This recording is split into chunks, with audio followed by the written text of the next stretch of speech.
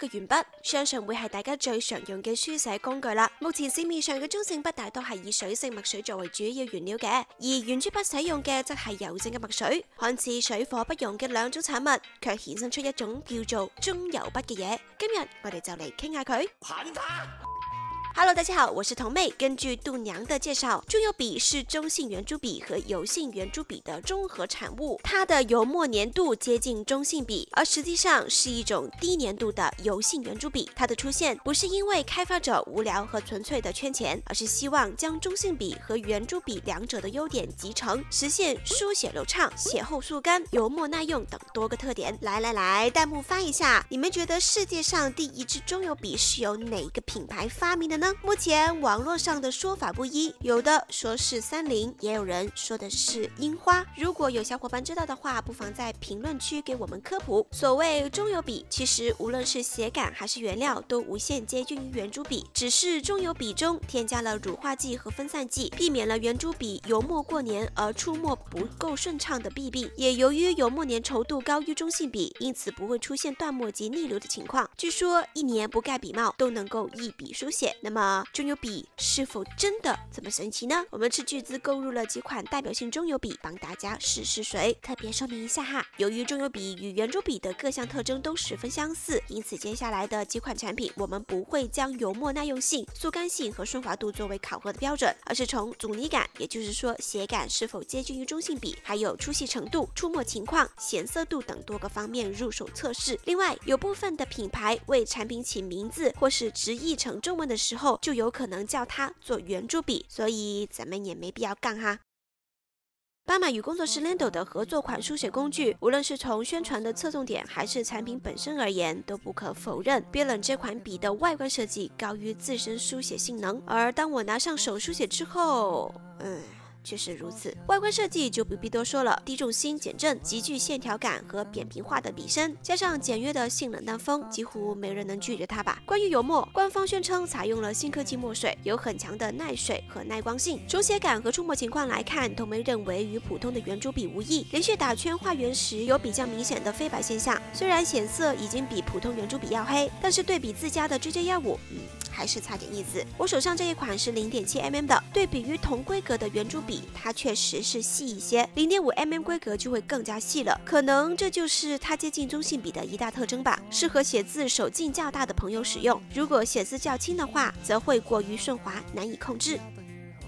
三菱的这一支黑科技 XXN 一千是这一期产品里面身价最高的，果然人民币玩家就是少很多烦恼啊，方方面面都做得比较到位了。这支笔也是一位三聯學生点赞投币收藏啊啊啊不不不不不，是三好学生，好冷好软好重，冷是因为后端的笔杆做了金属拉丝处理，哎呀，这大冷天碰一下。还是会打个冷战。笔握处的 Alpha Gel 新特软材料，有效抑制长期握笔的疲劳感。无论握得多大力，都还是觉得很软啊，这 Q 弹的感觉。整体的设计是黑科技直男风，做工到位，嗯，对得起价格。油墨已经非常接近中性笔的显色效果，连续书写和画圈圈，笔迹也没有出现明显的空洞。粗细度和斑马的 b i l l 相仿，零点七 mm 的粗细其实很难和中性笔的书写感相提并论。童妹认为书写感还是过滑，且笔身。略重，写久了会觉得不受控。三菱的 SXM 一五七 X 很显然是 SXM 一千的低配版，全是塑料和纯黑外观设计，无疑让它成为了性价比之选。想试试中油笔的朋友可以入手尝试一下。阻尼感和显色度比 SXM 一千稍微逊色一些，但是三菱的油墨真的是有一手。根据官方介绍，这款笔的油墨具有防水和耐光性，对比之下，写感跟圆珠笔没有什么太大区别。对比于其他中油笔，书写略粗，但三菱的字迹。颜色会更加饱满，罚抄的时候用它写得快，还不心疼墨水。重要的是有兼容的中性笔替芯可以互换呀。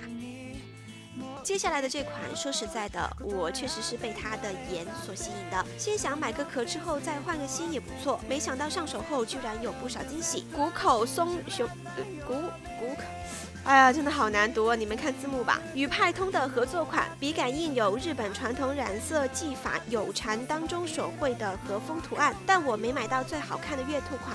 哭了。目前为止，这是阻尼感最接近中性笔的一款中油笔，出墨的感觉很微妙，粗细也是跟中性笔无太大区别，就像是在水性油墨中添加了少许的粘稠剂，中性笔变色了。要说有什么缺点的话，那就是在快速书写的时候会有少许积墨现象，显色度的话还是不如三菱强，不建议在正式考试时使用。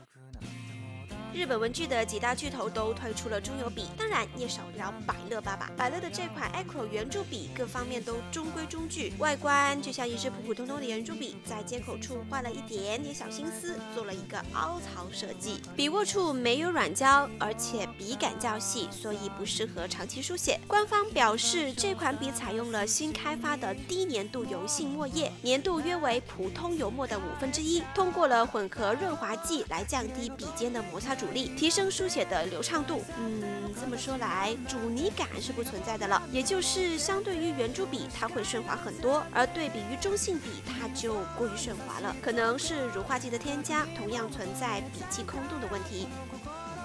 东亚文具的中油笔也是全黑的外观，看起来十分务实。笔身上印有 High Break In，即混合油墨，自身重量很轻，书写时需要费点劲。写感跟圆珠笔基本相似，其他的选手们很多都存在过于顺滑的问题，而它就相反，阻尼感极强，应该是没有添加多少乳化剂。当然了，防水不阴墨才是它的卖点。想追求中性笔书写手感的话，嗯，是不要尝试了。最后来个总结，中油笔的出现本来就是为了综合中性笔。和圆珠笔的优点优化成一个更优秀的种类。我认为，如果品牌过度的追求顺滑度，使中油笔毫无阻尼感的话，其实并没有实现他们最初的目标。中油笔仍然具备极大的发展潜力啊！